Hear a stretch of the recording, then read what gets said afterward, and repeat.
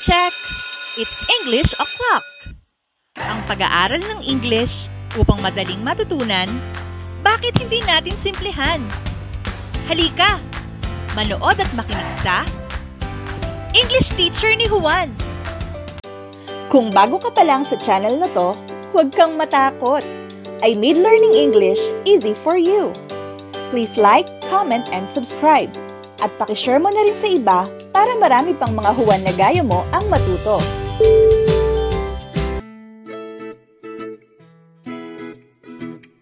Hello everyone!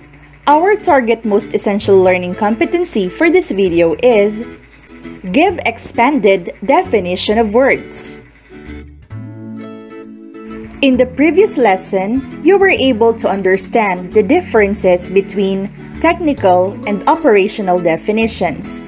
This time, you will learn how to give expanded definitions using various ways. You will be needing this skill as you write your research report or research paper. For example, sa pagko-compose pa lang ng introduction mo or background of your topic sa chapter 1, you will need to define important terminologies. And here, I'm not talking about short and simple dictionary definitions, but we are talking about expanded definitions to make ideas and concepts clearer. An expanded definition is a one or more paragraphs that attempt to explain a complex term. Some terms may be so important in your report, there may be so much confusion about them, or they may be so difficult to understand that an expanded discussion is vital for the success of your report. An expanded definition starts with a full definition of a term, that is, one sentence definition, and then expands to at least one paragraph long or more. Here is an example of a full definition. Ito yung pinaka-basic form of defining terms. Carbohydrates are a food group including sugars, starches, and cellulose. In this particular definition, we actually follow a certain pattern. That is, the term to define, the general class to which the term belongs, and a distinguishing characteristic which separates the term from the other members of the same class. This is pattern 1. For example, when we talk about food groups, hindi lang naman carbohydrate ang food group. We also have others such as protein and calcium-rich food groups. So, mahalaga talagang mag-include ng characteristic ng term na dinedefine to separate it from its similar class. Another pattern is this, ni-reverse lang. A food group including sugars, starches, and cellulose is carbohydrates. This time, nauna na yung class, followed by the characteristic, then the term.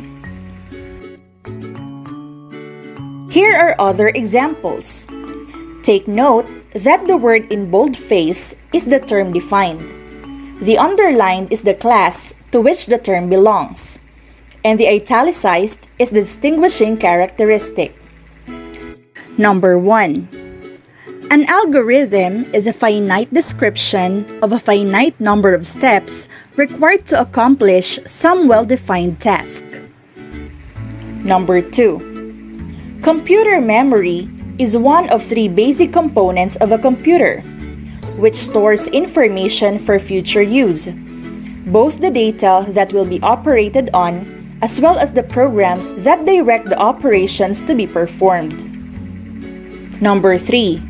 Reservoir rock is a type of rock that has sufficient porosity and permeability to allow gas and oil to accumulate and be produced in commercial quantities. Number 4. Influenza is an acute, highly contagious infection of the respiratory tract which occurs sporadically or in epidemics and that lasts up to months. Let's go back to our first example. Carbohydrates are a food group including sugars, starches, and cellulose. This definition in sentence form can become an expanded definition, which is our topic, by expanding it into paragraph form. Let's see how it goes. Here, the first sentence, which is Carbohydrates are a food group including sugars, starches, and cellulose, is our full definition. Then, the sentences that follow composed the expanded definition. Let's have some sort of analysis kung paano nabuo ang expanded definition na ito. Carbohydrates can also be defined chemically as neutral compounds of carbon, hydrogen, and oxygen. This part is an additional definition. The body breaks down most sugars and starches into glucose, a simple sugar that the body can use to feed its cells. This is a process narration. Dietary intake of complex carbohydrates can lower blood cholesterol when they are substituted for saturated fat. This part naman shows effect. Carbohydrates are classified into mono, di, tri, poly, and heterosaccharides. This part contributes to the definition by citing the classifications of the term.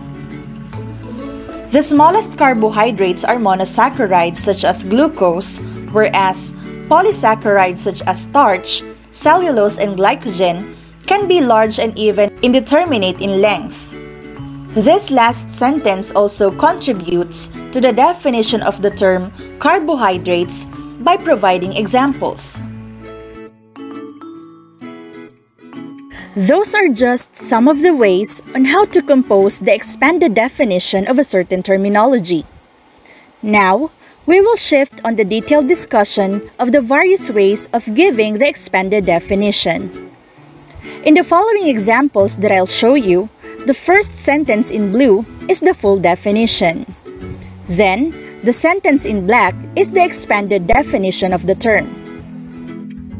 Number 1. Anyone born between 1981 and 1996, ages 23 to 38 in 2019, is considered a millennial. Millennials are mostly watching television and exposed in using different social media application. Based on the given example, the first way of composing an expanded definition is through description. Dito dinedescribe kung ano ang millennials and that is, most of them are watching television and are exposed in using different social media application. Next example. Generation transition is the process of shifting from one generation to another. Generation transition takes place after different considerations and factors. First, after a big movement in society such as technological explosion which paved the way for the different generations. The expanded definition is a process narration, meaning, in inexplain dito yung proseso kung paano nagaganap ang generation transition. As mentioned, generation transition takes place after a big movement in society such as technological explosion. Ngayon naman, Dugtungan na lang natin yung previous example. Generation transition is also defined as the changes happening in lifestyle and social interaction which leads to significant differences. This time, the last sentence is an additional definition or karagdagang definition lamang of the term generation transition. Another way of giving an expanded definition is by providing historical background. Generation Y is known as the generation which was born between the early 1980s and the early 2000s. Generation Y evolved during 1996 or 1997, which was named as I Generation or Generation Z by different philosophers because of their distinct peculiarity in using social media and technology. Number 5. Generation transition is the process of shifting from one generation to another. Research proved that transition of generations has caused millennials to encounter societal problems which influenced how they raise their children. This one is an expanded definition that shows a cause related to the term being defined. Number 6. You may also include the effects related to the term being defined. Take a look at the additional sentence at the end. As a result, Generation Z becomes more sensitive with their savings and future matters. If the term being defined represents a problem or solution, you may also use it as an expanded definition. Generation transition really affects even the environment that some areas are sacrificed for developments. This part is the problem. However, it can be a way to fix the gap by starting a new generation which cares for nature. This part is the solution. Also, you may discuss statistics or numerical data related to the term defined, such as percentage, amounts, and others. According to the research, there are 2 billions of Generation Z in the world. If you think that it would also help to discuss the uses and applications related to the term, you may do so. Generation Z is also used to determine different significant evolvement of human intelligence and way of interaction. If there are similar or different terminologies, or if there's a need for an analogy, include them. Look at this example. If millennials are called as Generation Y, I generation is called as Generation Z, but they are both exposed in internet and social media. You may also consider the classes, types, or categories where the term belongs. Generation transition includes all different generations and some of these are Generation X, millennials, and I generation. You can also provide examples that contribute to the definition of term.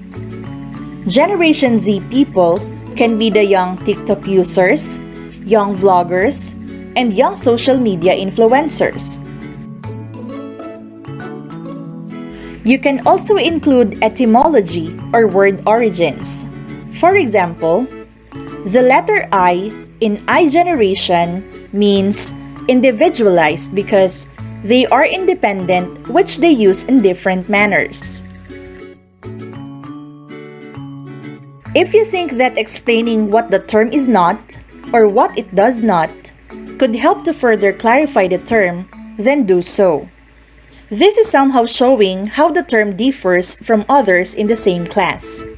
Look at the example. The terms Generation Y and Generation Z are not really related in their generations because they just follow the name Generation X. And lastly, you can also discuss some advantages and disadvantages that are related to the term. Generation transition really improves technology, which gives ease to people. However, some values fade out.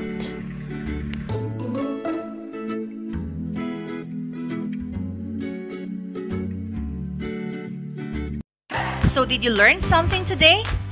Sure ako na hindi ka na nosebleed. If you want more of this video tutorial and learn English in a light speed, huwag kalimutang mag-subscribe at turn on ang notification button para updated ka sa mga bagong lessons. Ako ang teacher mo, ang English teacher ni Juan. Class dismissed! See ya!